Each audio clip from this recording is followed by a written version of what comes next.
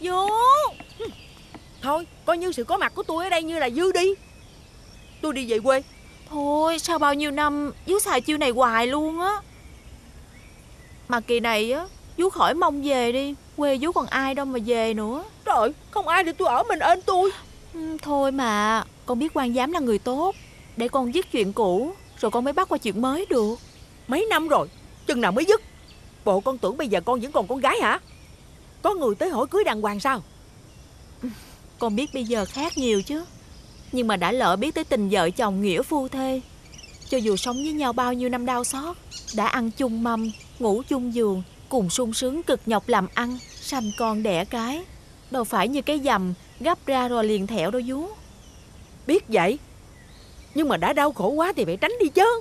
Người khôn thì phải biết quên đi để mà lo cho hạnh phúc còn lại của mình Dạ con biết rồi vú.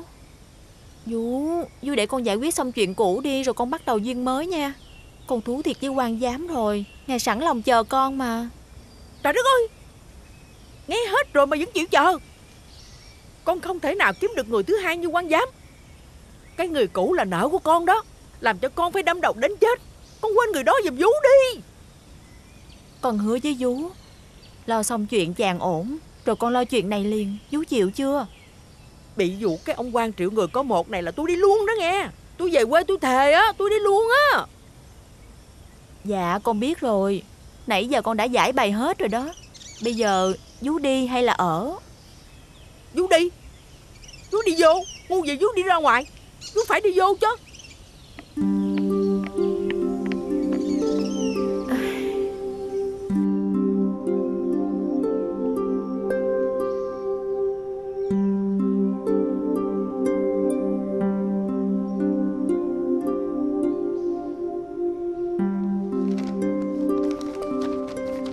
Dạ thưa cô.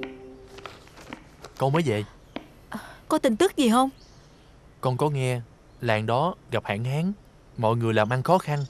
Rồi họ phải bỏ xứ đi ăn xin Tứ tán hết rồi. Có một số người á Kéo lên kinh thành luôn. Hèn chi mấy nay từ tiệm về Thấy ăn xin lũ lượt đầy đường. Dạ Có một người nói Nhưng mà chưa chắc lắm. In như là thấy cậu nhà Đi ăn xin ở ngoài thành đó cô. Hả?